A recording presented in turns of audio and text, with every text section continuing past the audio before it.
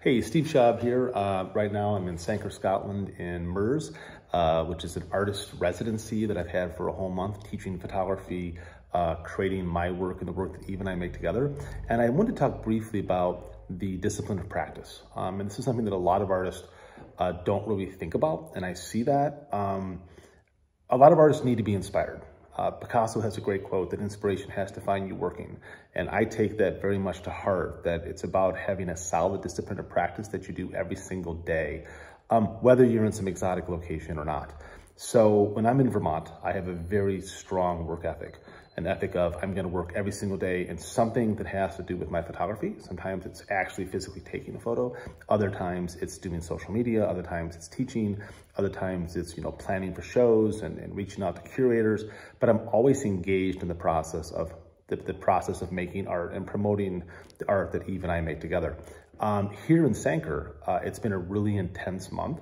Um, I have a very primitive ability to process film here, uh, to sort of scan film and make prints. And all of that has provided a really great challenge for me to find a working solution, and I did.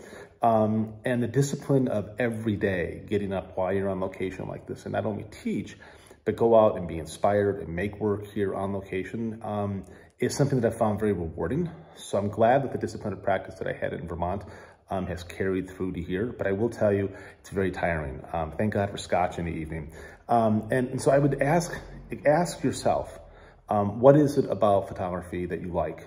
And what is it about uh, your practice and your work that you like? And if your answer is, I like to travel and go places, that's one thing. I think a better answer is, I'm passionate about photography. I need to do photography. It needs to be part of my everyday life. And from that, build yourself a discipline, build yourself a work ethic that has you doing something with photography constantly. Um, so when you have the rare opportunity of coming on location like I have right now here in Scotland, you'll be able to maximize it. If you don't have that discipline of practice ingrained in yourself as a working artist, it's a hard thing to develop just overnight. Thank you very much for listening. Now go shoot some film.